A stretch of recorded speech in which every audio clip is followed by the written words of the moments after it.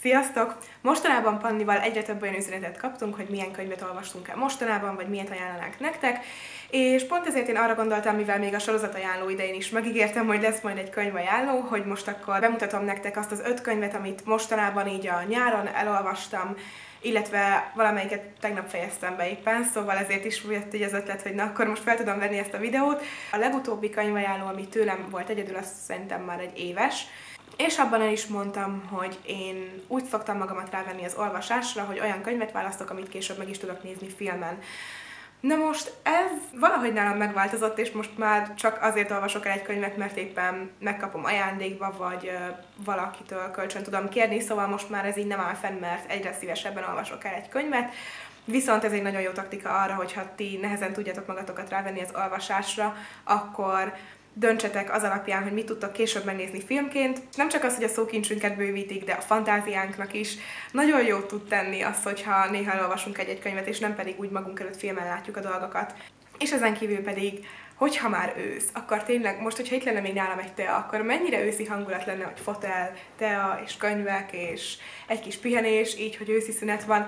Nagyjából sorba állítottam a könyveket, hogy melyik volt a kedvencem, és melyik tetszett a legkevésbé, szóval azzal fogom kezdeni, amelyik a legkevésbé tetszett, és megyünk a legjobb felé.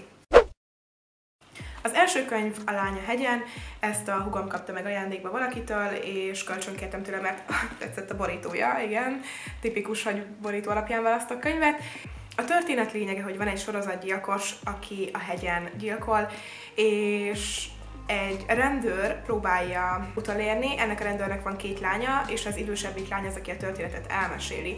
Több évet foglal össze, sőt, egészen, a könyv végén már fel is nő, tehát felnőtt lesz a kislányból, részletesen vannak leírva a dolgok, érthetően, és tényleg nagyon reálisan. Tehát egy olyan életet mutat be a lányoknak, olyan élete van, ami nem fenékig tej és tényleg ott van nem csak a sorozatgyilkos szál, de nagyon sokféle um, életkörülmény azon kívül, viszont nagyon vontatott, tehát eléggé lassan történnek az események. Amikor már beindul a könyv nagyjából a felénél, vagy egy kicsit utána, akkor tényleg izgalmas és alig lehet letenni, ami nálam ritkaság, mert én egyszerűen olvasok tíz oldalt bármilyen könyvből, és utána így lerakom, hogy jó, most csinálok valami más. Szóval általában sűrűn olvasok, viszont akkor keveset.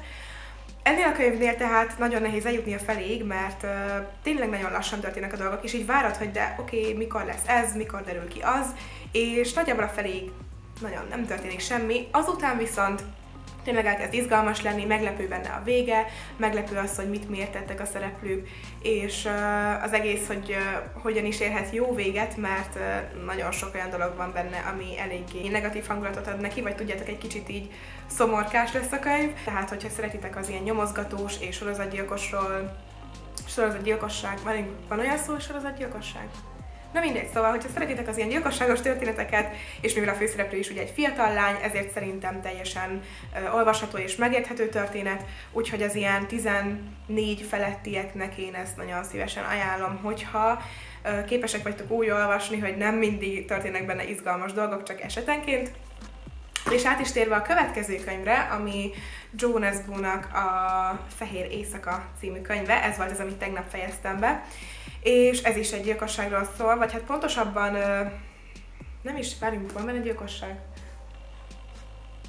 Nem feltétlenül egy gyilkosságról szól, ez nem tudom, hogy ki az, aki ismeri a Menedék című könyvet és filmet, én imádom, és ez egy 5 plusz 1 ajánló lesz így most már, a menedék, és ez nagyon hasonlít rá, csak ott egy lányról szól, itt pedig egy férfiről. Annyi a lényeg, hogy egy férfi drogüzletbe keveredett, drogokat csempészet, vagy pontosabban adott el, és maga ez a drogkartel az, ami őt üldözi, és ezzel menekül, de ez eléggé összetett, szóval egy bonyolult múlt áll mögötte.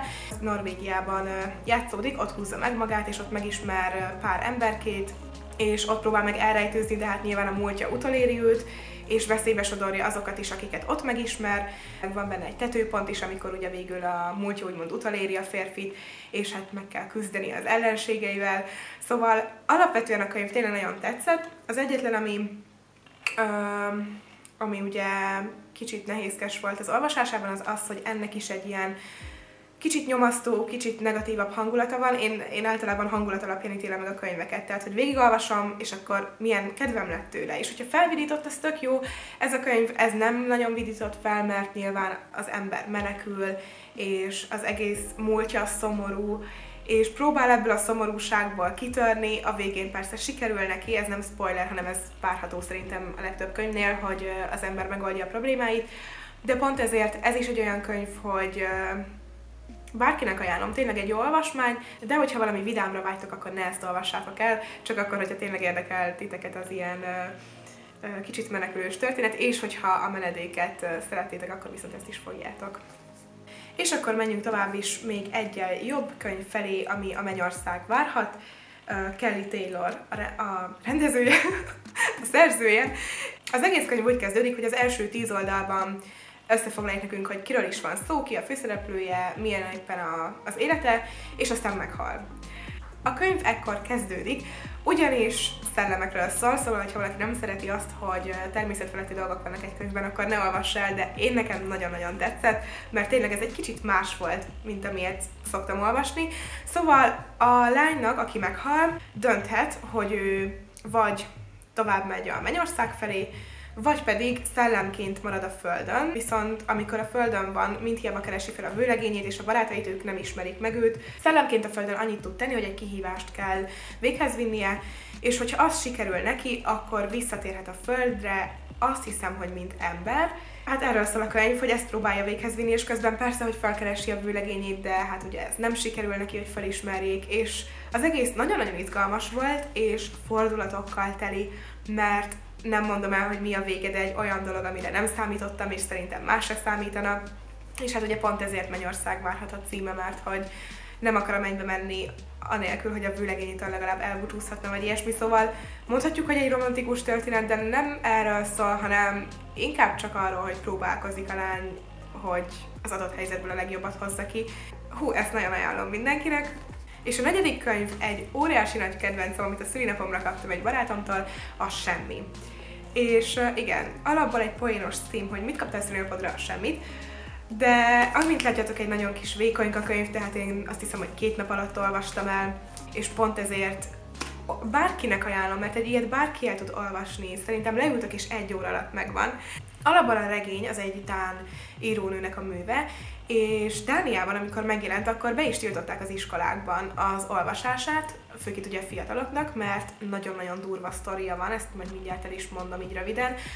És az a vicces, hogy amikor a világ elkezdett egy kicsit talán jobban kinyílni, vagy nem is tudom, hogy mi történhetett, akkor pedig hirtelen kötelező olvasmány lett. Szóval tudjátok, ez így tipikusan az ilyen irodalom felfogás, hogy igen, tiltsunk be valamit, mert ez rossz a fiatalságnak, aztán hirtelen már kötelező lesz belőle, szóval mindegy. A lényeg, hogy szerintem, hogyha nekem ilyen kötelező olvasmányom lett volna, mint ez, akkor imádtam volna az irodalom órákat. Nagyjából 11-12 évesek azt hiszem a főszereplők egy osztály, és az egyik kisfiú kitalálja, hogy az életnek semmi értelme, és hogy minek iskolába járni, meg minek bármit is csinálni, hogyha egyszer úgy is meghalunk, hogyha semmit nem lehet elérni. Na és az osztálytársai ennek a kisfiúnak kitalálják, hogy de igenis van értelme az iskolának és a világnak, és ezért elkezdenek összegyűjteni olyan tárgyakat, amik számukra fontosak, amikről tényleg azt gondolják, hogy van értelme. Azt csinálják, hogy meg kell mondaniuk a másiknak, hogy mit adjon bele. Például tudják, hogy neked nagyon tudom, hogy fontos a focilabdád, úgyhogy rak bele a közösbe. Így elkezdenek összegyűjteni nagyon sok mindent, csak hogy egy, elkezd az egész történet morbiddá válni, ugyanis idővel már nem egy-egy tárgyat kérnek a másiktól, hanem sokkal durvább dolgokat. Például hogy nem mondjak hú, de nagy spoiler, de lesz benne egy koporsós rész is, hogy egy koporsót fognak oda rakni, hogy kiét meg ilyenek, azt nem mondom el, de és ekkor még csak elkezd beindulni a történet, szóval később tényleg annyira morbiddá válik, és ijesztővé az egész, hogy kisgyerekek hogyan válnak ilyenni, és milyen elvárásaik vannak magukkal kapcsolatban. Ah, nem mindegy, én nekem nagyon-nagyon tetszett. És végül jön az ötödik könyv, ami nekem óriási nagy kedvencem volt, ez pedig a szoba. Ez mozifilm is volt, és én hál' Istennek nem néztem meg, szóval előbb olvastam el, és csak aztán láttam a filmet. Van benne egy anyuka, aki nagyjából 22-23 éves, illetve az 5 éves gyereke, Jack, és ők ketten egy szobában élnek, ugyanis a lányt, mikor fiatalabb volt, akkor elrabolták, és egy gyereke született az elrablójától, és egy szobába zárták be őket, tehát egy szobában élnek már öt éve, és a kisfiú ott született, ott nőtt fel, és neki az jelenti a világot. Tehát úgy indul az egész könyv, hogy ugye ott leírja a hétköznapjaikat, hogy hogyan is telik, és ugye a kisfiúnak az, hogy világ, az a szoba, és minden, ami ott van, az számára csak az létezik. Miután az anyukának betelik úgymond a pohár, és rájön, hogy valahogyan ki kell vinnie onnan magukat, akkor elkezdi ugye elmesélni a fiának, hogy igenis van egy külső világ, és hogy ez csak egy aprócska része ez a szoba, ami ami alapból hihetetlen, mert egy öt éves ezt hogyan fogná fel, még én magam sem fognám fel, hogyha addig úgy éltem, ugye. Azután kiagyalnak egy tervet, és meg is uh, szöknek.